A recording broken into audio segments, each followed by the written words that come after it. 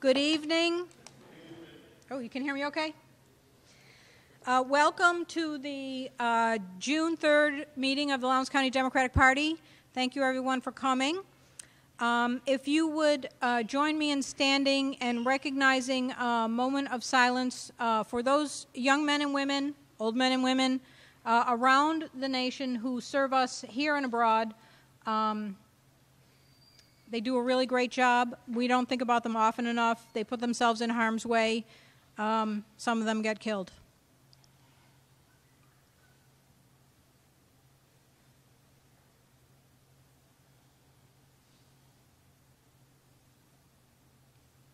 And the Pledge of Allegiance. I pledge allegiance to the flag of the United States of America and to the republic for which it stands, one nation, under God, indivisible, with liberty and justice for all. Thank you very much. When you came in, you should have gotten a bunch of slips of paper. There's a sign-in sheet there at the door. Please sign in. Make sure that we have your contact information. Um, there was an agenda. There were minutes from the May meeting. Uh, there's a membership form. If you haven't paid your membership uh, dues yet, please do. Um, if you have a question about have I paid my membership dues yet, um, you can contact Jarrell, our secretary. He currently has the membership information. Um, and there's a form for the barbecue to buy barbecue tickets. Our barbecue will be Tuesday, July the 2nd, so that's just a month from now. So uh, you can get your tickets, sign up, and get your tickets there. So the meeting minutes from May, has everyone had an opportunity to read those? Are there any corrections?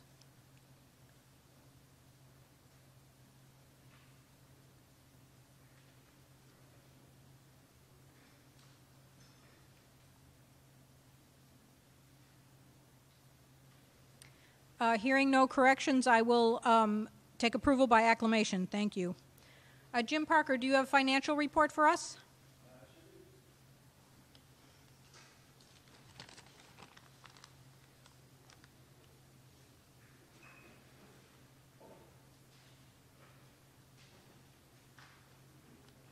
I think this is the number. Oh, really? Yeah. Because the check say this. Yeah, this was a start, and this is the end. Okay? Really? Yes, had that. I know, because there was a check in the drawer. Oh, I didn't see. Okay. All right. um, We uh, started the month with uh, $396.69, and we ended the month with $342.34. Uh, The coffers are getting thin, so we're going to need a little help here. Uh, I was thankful to see because I hadn't noticed it before. We do have enough money for the rent this month, but we still got uh, to, to do the internet, and then there's next month, and hopefully come July and the barbecue will be a lot better shape.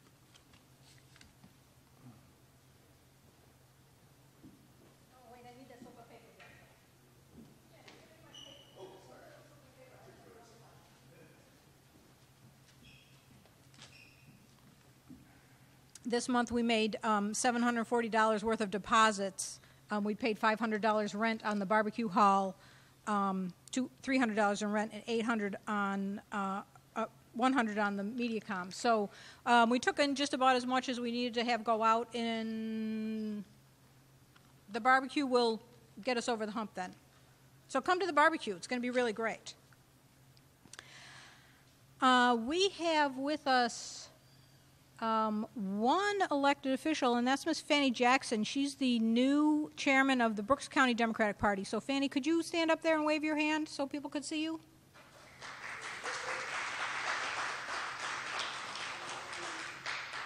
Mr. Marshall, the longtime Democratic Party leader, uh, stepped down in April, and Fanny was elected last month.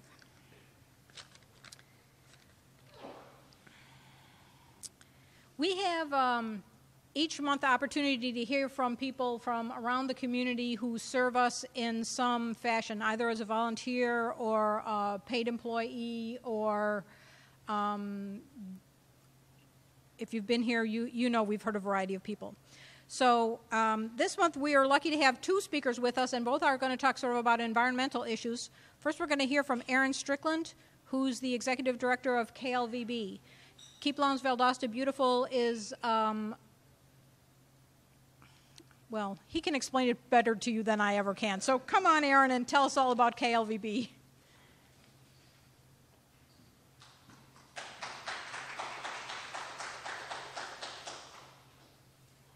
Don't clap, just throw money, please.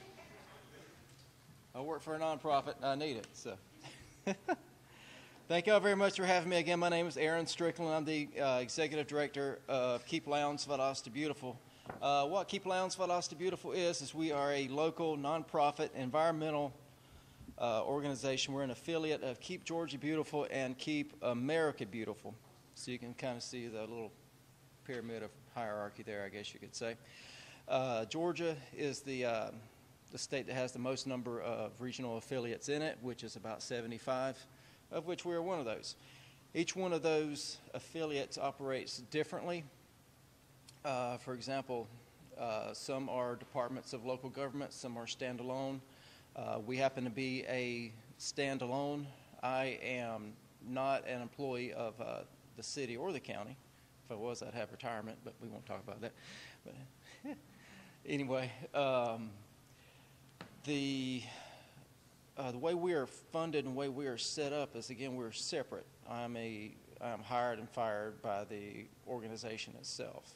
Uh, Keep Valdosta Beautiful is made up of a board of 12 volunteers.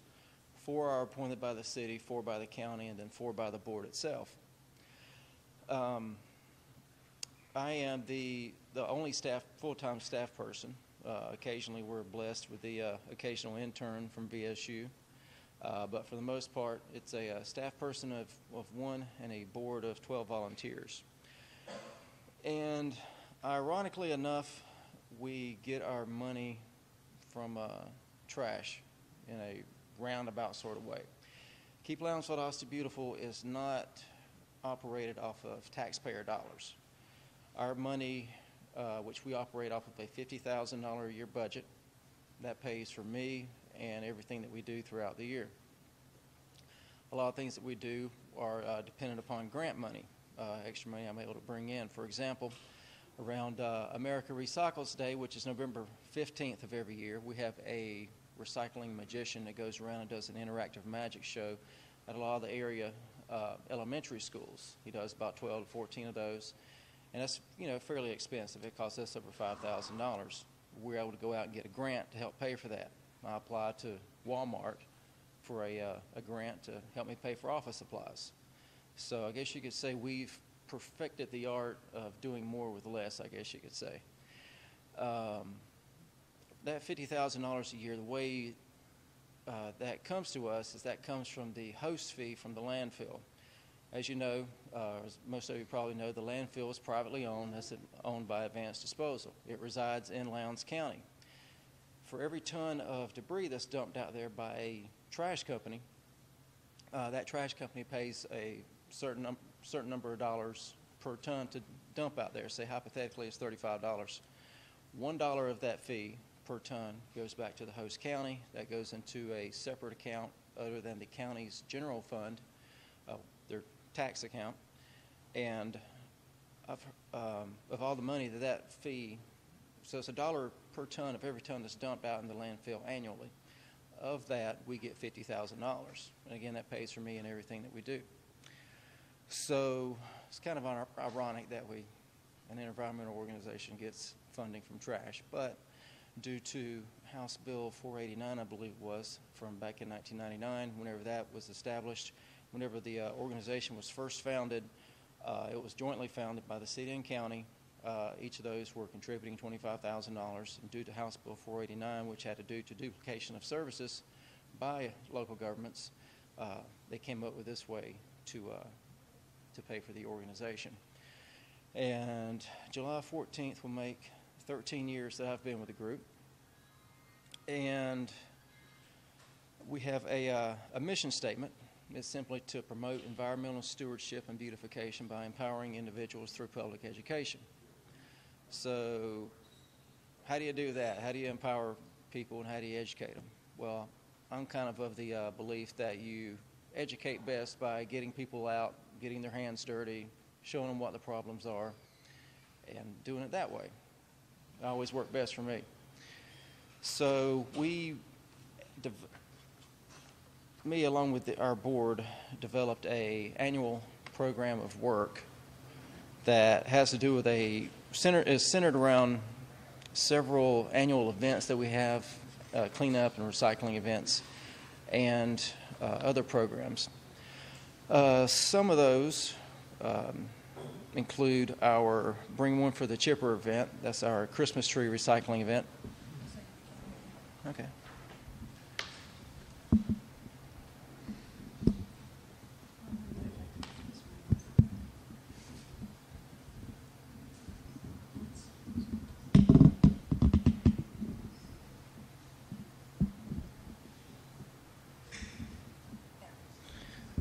Taller than you. I'm sorry. but uh, uh, again, uh, talking about our events that we have throughout the year, uh, we start off January of each year. Generally, the uh, first Saturday of each January was, is our uh, Bring One for the Chipper event. That's our Christmas tree recycling event. Whenever, if you go out and you buy a, a new, a, a real Christmas tree around Christmas time, odds are you'll get a flyer that has that'll tell you all about that. Um, so we uh, collect all these uh, Christmas trees that folks bring in, and we chip those up. Let folks take the mulch if they like it, and uh, whenever they bring a tree in, they can take a, a new seedling home with them and plant it. So it kind of gives them the uh, the feeling of uh, taking something home and planting what was chopped down in the environment to, for their holiday pleasure. Um, other event, uh, events include our electronics recycling events. We have one of those in the spring, one in the fall. This past spring, couple months ago actually, uh, we collected a little over eight tons, 16,125 pounds of electronics that would have been destined for a landfill, but uh, we were able to divert that, and now those electronics are going to be uh, recycled and you know turned into other products. And we uh, recently had our Arbor Day event. Uh, we partnered with the uh, the City of Valdosta and the Tree Commission on that, and our Great American Cleanup event, which is a, an event that's centered around beautification and neighborhood cleanup. We just had that in April. Uh, that event, we had nearly 200 volunteers come out, and we collected a little over three tons of uh, trash, litter, and debris that was out in uh, places that it didn't belong. During the uh, summer months, we have a uh, volunteer appreciation luncheon. Uh, we conduct a litter index, which is a visual litter survey. We spend a day in the city and city of Valdosta and a day out in the county. Uh, the county day uh, encompasses uh, Lake Park, Hahira, and the unincorporated areas. And what we do is we go and we grade, you know, predetermined sections on these maps uh, on a scale of one to four as to how littered they are, and that helps us focus our uh, our efforts um, with our different programs, such as the Adopt a Road and Adopt a Street programs that I oversee. We call it Adopt a Road in the uh, county, Adopt a Street in the city, and that program has about 65 participants uh, in city and county and that is open to any school, club, organization, business can adopt a section of a city street or a county road and go out at their leisure and uh, conduct a cleanup. They don't have to wait for one of our annual events to come up. Um, rolling into the fall, we have our Make a Difference Day event at the end of October and uh, Rivers Alive at the beginning of October. Uh, just to share some of those numbers with you. I'm just going to give you some cumulative numbers. Uh, on July 14th of 2000, I started with the organization. I kind of started a tally of what we do, numbers we uh, generate from our events, because what, are, what better way to judge how the organization's doing but then by the number of volunteers that we're getting out, the number of presentations that we make, the number of tons that we collect, and um, things like that. So, in the uh, 13 years that I've been with the organization, we've had well over 10,600 major event volunteers come out. We've collected 2,044,600 pounds of trash, litter, and debris. That's all out in places that it didn't belong in, whether it be riverbeds, creeks, trails, city streets, uh, the backyard of um, an elderly person's yard, um, we were able to pick up all that stuff. That equals out to about 1,022.3 tons. Uh, we've collected over 2,600 tires, over 260 appliances, and we've recycled over 13,800 Christmas trees. All of that is done not with taxpayer money. That is done with a staff person of one, a board of 12 volunteers, and community volunteers. That's not taxpayer money. That's not county or city staff going out and doing that. So, with that taken into consideration, over 2 million pounds of junk is pretty impressive for that to be, to be picked up over the, uh, the last dozen years or so. Um, let's see here. I'll tell you a, uh, a little bit of a story. Back when I started uh, with Keep Lowndes Valdosta Beautiful, it's funny how life works out. You know, it never works out quite how you planned. My wife and I had the, uh, the, uh, the pleasure uh, to be able to move a couple years ago from our first house that we had bought together. You know, we had the, uh, the plan of being in that house for five years, and then we would, um, you know, move up into a, a, move up out of our little cookie cutter neighborhood and get a bigger house one day. That was the five year plan. 14 years later, we finally get to move. And uh, uh, we moved, uh, you know, into a, a, a, bigger house. We were in the city. We moved out in the county. That's, that's where we live now. And the same applies to employment and friends or any decision that we make in life. For example, with my job here, I had the plan of being there for two years. 13 years later, I'm still carrying this flag and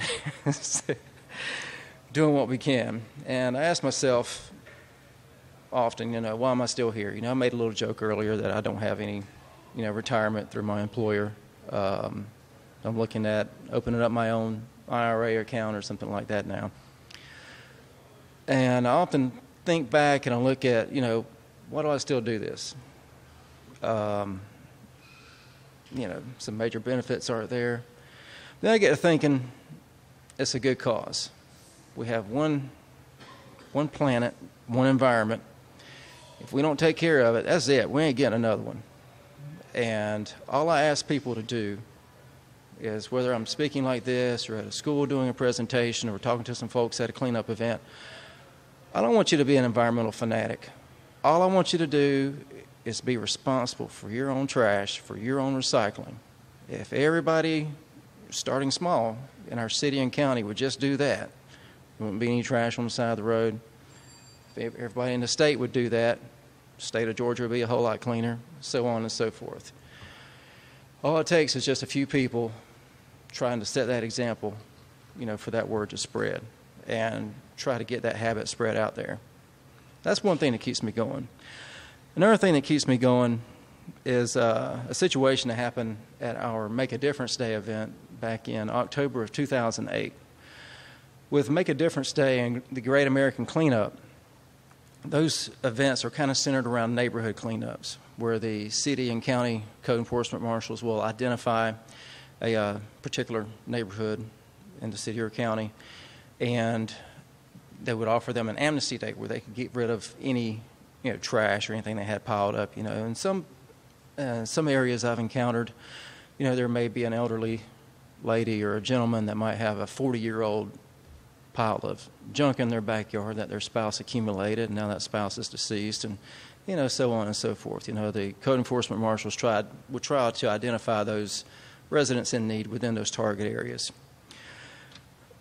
Back in on that day in 2008, uh, I was working at the uh, the county location. Everything we do, we try to have a to keep everybody happy. We have a, uh, a city site and a county site uh, for everything that we do. I was out at the, the county location, and it was in a, uh, the target area was a trailer park off of uh, Nankin Road, I think it was. And the uh, code enforcement officer that was uh, working that site with us, he said, Aaron, you know, we've got um, this lady that lives across the street. Her house is technically outside of this target area, but you know, she's uh, medically disabled.